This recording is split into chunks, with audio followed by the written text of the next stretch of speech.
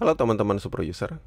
Kali ini kita akan belajar bagaimana cara menghubungkan kontainer-kontainer yang ada di Docker.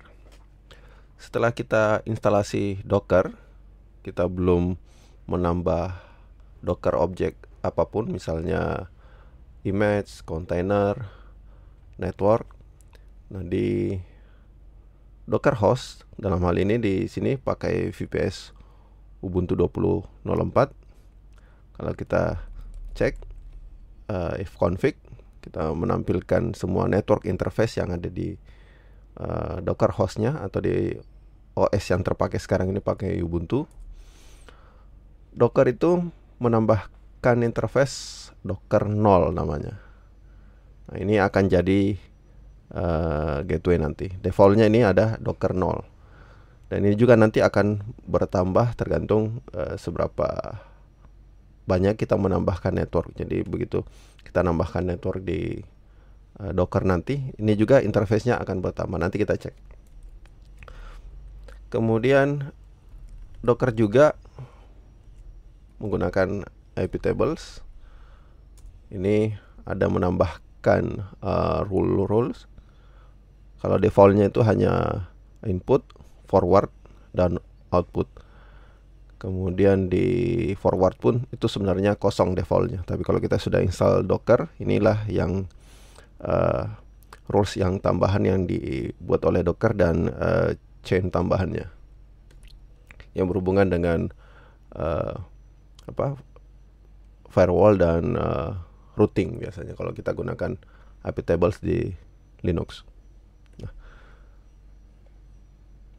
Kalau kita membuat kontainer seperti pembahasan-pembahasan sebelumnya, secara default itu kontainer tersebut akan menggunakan uh, network driver tipe bridge dengan nama bridge. Jadi network driver ini atau uh, tipe networknya. Network driver lain yang tersedia ada host, overlay, dan Mac VLAN. Coba kita cek dulu defaultnya Docker pakai command Docker network ls. Nah inilah network driver default yang terpasang setelah kita install uh, Dockernya. Jadi ada network ID-nya, uh, name dan drivernya. Kalau uh, bridge biasanya digunakan untuk standalone container bisa juga untuk menghubungkan kontainer yang memakai nama bridge yang sama. Nah, jadi yang tadi uh, ini tipe bridge ini kita bisa buat sendiri. Membuat sendiri networknya, kita tentukan sendiri namanya dan nanti kita bisa menghubungkan kontainer-kontainer yang ada ke network tersebut. Kemudian ada tipe host. Ini akan menghilangkan menggunakan network isolation. Jadi networknya tidak akan terisolasi lagi antara kontainer dan Docker host. Kontainer akan memakai secara langsung network yang dimiliki oleh Docker hostnya. Kemudian ada overlay. Di sini kita gunakan kalau kasusnya menghubungkan beberapa Docker daemon bersama-sama. Dan ini juga dipakai oleh untuk Docker uh, Swarm Service untuk saling berkomunikasi. Kemudian ada uh, driver VLAN. Ini kita bisa pakai uh, MAC address ke container sehingga nanti muncul sebagai perangkat fisik di network. Kemudian ada, ada non kita tidak mengaktifkan network sama sekali. Jadi networknya dimatikan. Biasanya uh, digunakan untuk uh, custom network driver. Kemudian ada juga network plugins, kita bisa menginstal dan menggunakan third party network plugin tersedia di Docker Hub dan uh, third party vendor lainnya.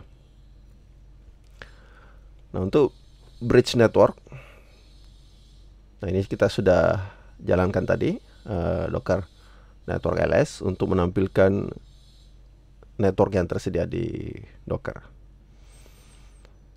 Sekarang kita coba uh, ini membuat uh, dua kontainer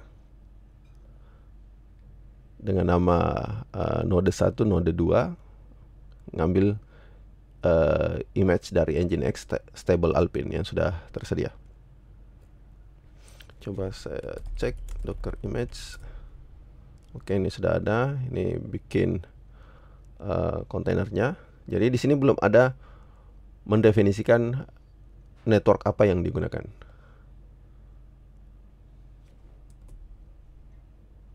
Oke. Okay. Kalau kita cek Nah, ini kontainer yang sedang berjalan. Nah, kita bisa cek informasi detail kontainernya dengan inspect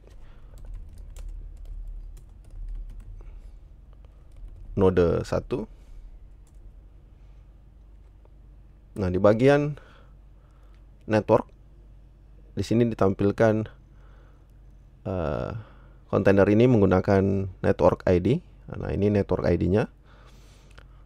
Ini network ID-nya sama dengan yang ditampilkan tadi di sini dia. Kalau ini kan hanya kalau tidak salah 12 uh, karakter pertama. Kalau di sini lebih panjang uh, eh, ID-nya ditulis secara lengkap. Kemudian ada gateway-nya. Tadi ini yang Docker 0. Kalau kita cek sama 172 1701. Kemudian IP address inilah ya IP yang diberikan ke node 1. Begitu juga untuk node 2 kita bisa cek. Nah, node 2 IP-nya 03. Network ID-nya sama. Itu kita inspect di sisi uh, apa? Di sisi kontainernya. Kita bisa juga inspect di sisi networknya. Docker network inspect namanya adalah bridge. Nah, ini terlihat di sini containers yang menggunakan network uh, bridge ini. Oke, ini IP-nya. Yang tadi 02 dan 03.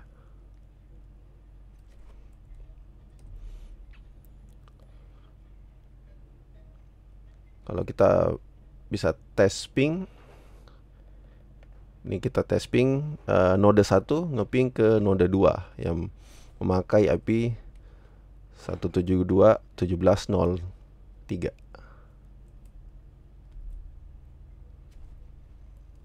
bisa juga sebaliknya. Di sini dari node 2 ping ke IP node 1 nah. Nah, itu sudah terkoneksi. Nah, sekarang bagaimana kalau kita mau, membuat uh, bridge network sendiri? Jadi tidak menggunakan bridge network uh, yang defaultnya. Kalau yang ini sudah bisa ngeping komunikasi, tapi masih harus pakai IP. Nah, kita sebenarnya bisa komunikasi langsung dengan tanpa menggunakan uh, IP-nya tapi menggunakan nama kontainernya. Kalau ini bisa saja seperti itu tapi harus secara manual melakukannya dengan uh, mendefinisikan di file etc host IP berapa nama kontainernya. Nah, itu kalau pakai default itu harus edit manual seperti itu. Tapi kalau kita buat uh, bridge network sendiri, nah itu nanti bisa otomatis uh, bisa ngeping atau komunikasi dengan menggunakan nama kontainernya. Kontainer sebelumnya saya stop dulu. Lalu kita hapus. Oke. Nah, kita bikin dulu uh, bridge networknya. Di sini kita pakai nama NetWeb misalnya.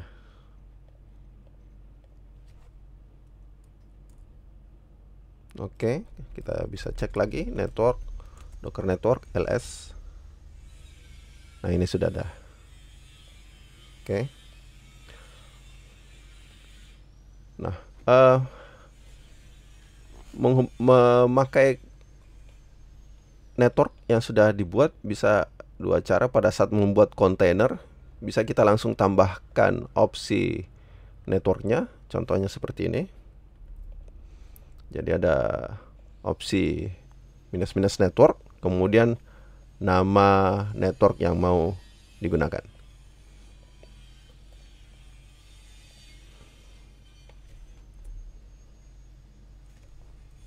Oke, kalau kita inspect inspect lagi netwebnya. Nah di sini. Oke ditampilkan.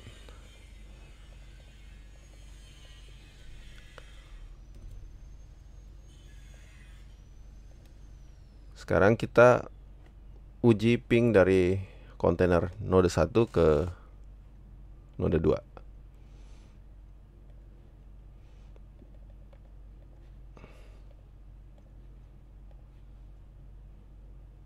Nah ini bisa langsung. Nah harusnya kita tadi coba dulu yang pakai default network. Coba kita jalankan kalau dia pakai uh, apa default uh, network.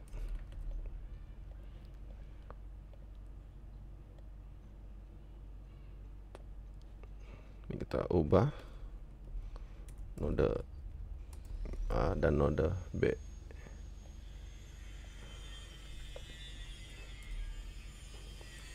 coba kita cek docker network inspect. Uh, yang default.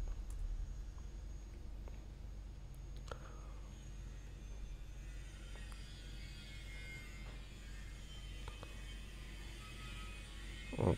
Okay. coba kita jalankan docker. Perintahnya tadi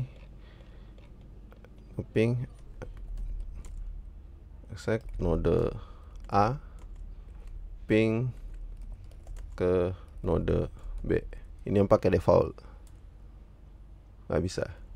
Tapi kalau dia pakai IP IP nya node B 172 17 03 bisa. Nah, dia seperti itu. Kalau kita yang pakai apa network sendiri yang kita buat uh, network bridge-nya. Nah, ini bisa bisa pakai nama kontainernya. Nah, itu salah satu kelebihan dari menggunakan uh, default apa menggunakan uh, kita membuat bridge network sendiri, tidak menggunakan yang default. Nah, kalau kita eh tadi itu membuat kontainer. Ini kita membuat kontainer. Di situ juga kita langsung mendefinisikan networknya kita bisa juga uh, menghubungkan uh, kontainer yang sudah ada ke network. Jadi misalnya kontainernya sudah lebih dulu ada kemudian networknya belakangan kita buat nah itu bisa kita konekkan. Atau sebaliknya uh, coba kita kita buat saja dulu docker.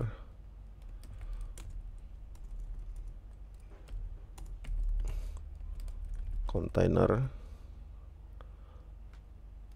Ini kita pakai yang perintah docker container create. Misalnya namenya node x dari engine x stable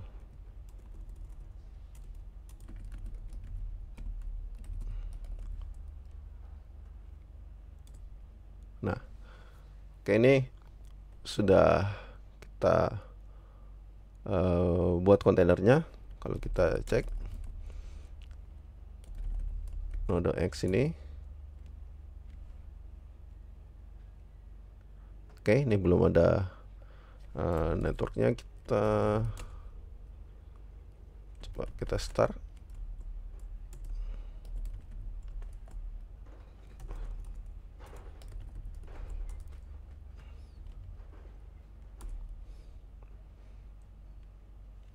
Nah kita start. Ini pakai uh, bridge. Nah, sekarang kita mau pindahkan ke dia dia network ini apa kontainer ini ke net web tadi docker network itu pakai connect connect kemudian nama networknya net web lalu nama kontainernya node x kita cek lagi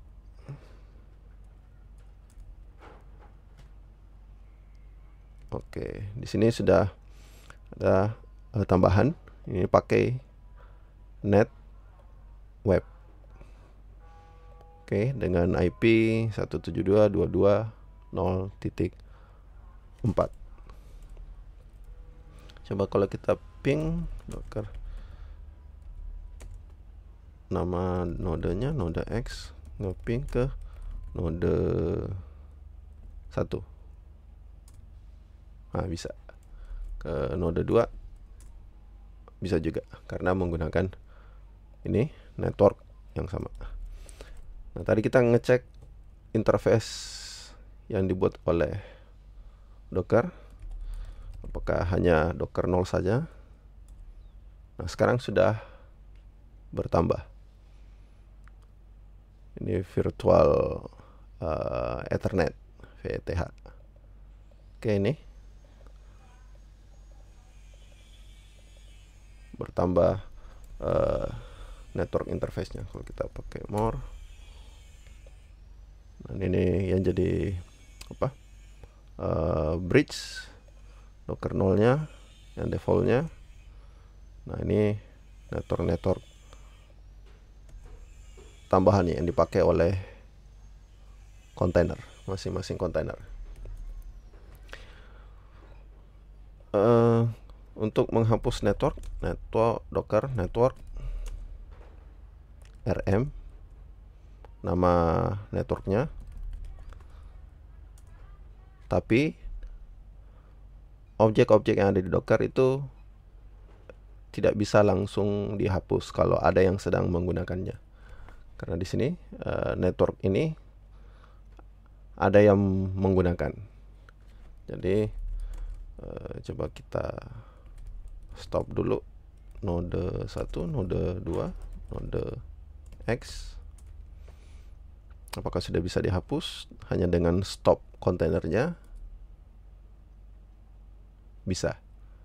Jadi kalau kontainernya nggak jalan eh, bisa dihapus. Nggak perlu sampai hapus kontainernya. Bisa juga menggunakan perintah uh, misalnya sudah banyak network kita pakai perintah prune. Ini akan menghapus semua network yang tidak terpakai. Oke, ada yang tadi yang tertinggal itu perintahnya kalau connect itu menghubungkan kontainer ke network. Kalau mau lepaskan uh, dari network, mengeluarkannya dari network kita pakai perintah disconnect.